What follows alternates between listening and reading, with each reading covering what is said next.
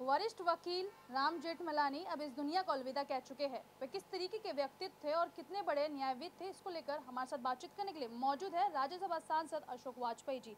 Sir, देखा जाए तो किसी का भी जाना दुखदाई होता है, लेकिन ऐसे में सबसे बड़े वरिष्ठ वकील वो माने जाते थे। आज वो इस दुनिया से अलविदा कह चुके हैं राम जेठमलानी जी। किस तरीके से आप लोग देखते हैं? देखिए, मैं समझता हूँ विधिक क्षेत्र में और राजनीतिक क्षेत्र में राम जेठमलानी जी का जाना एक बड़ी घटना है। एक बड़ा शून्य पैदा हुआ है, क्योंकि राग, राम जेठमलानी जी देश के सर्वमान्य, सर्वश्रेष्ठ वकीलों में गिने जाते थे।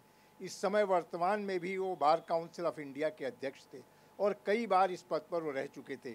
इंटरनेशनल बार काउंसिल के भी वो सदस्य थे।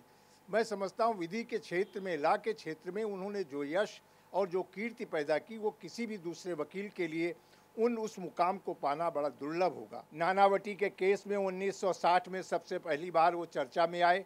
नानावटी केस के वो वकील बने और तभी से चर्चा और प्रसिद्धि की उनकी प्रारंभ हुई। और कई बार आतंकवादियों के, कई बार बड़े बड़े अपराधियों के केसों की उन्होंने पैरवी की। बड़ी आलोचना हुई, लेकिन उन्होंने कहा वकालत मेरा धर्म है और अपने मुवक्किल का पक्ष रखना, उसकी न्याय दिलाना, ये मेरा दायित्व है। और उन्होंने इस वकालत पेशे का निर्वहन किया। कभी उन्होंने आलोचनाओं की परवाह नहीं। आज पूरा देश दुखी है। अपने ऐसे लाड़ले अधिवक्ता को खोने का पूरे देश को गम है। लेकिन जो आया है, वो जाएगा। छियानवे वर्ष की अवस्था पूरी करके वो गए हैं।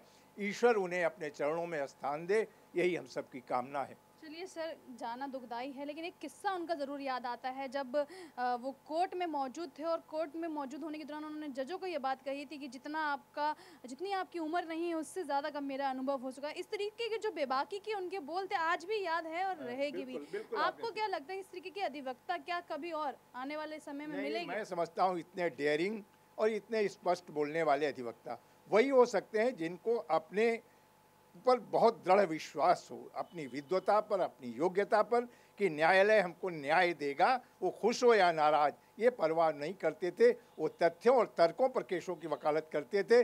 वो कभी भी उन्होंने बेंच का, उनका आँख देख करके या उनकी कृपा के पात्र नहीं रहे, हमेशा अपने तर्कों से अपनी बात बात को बनवाते थे और इसी कारण इतनी बहादुरी से वो बेबाक टिप्पणी कर लेते थे, वो किसी की चिंता नहीं करते थे। शुक्रिया सर आर नाइन टीवी से खास बात करने के लिए। कैमरा पर्सन के साथ मैं Bhavna R nine TV Delhi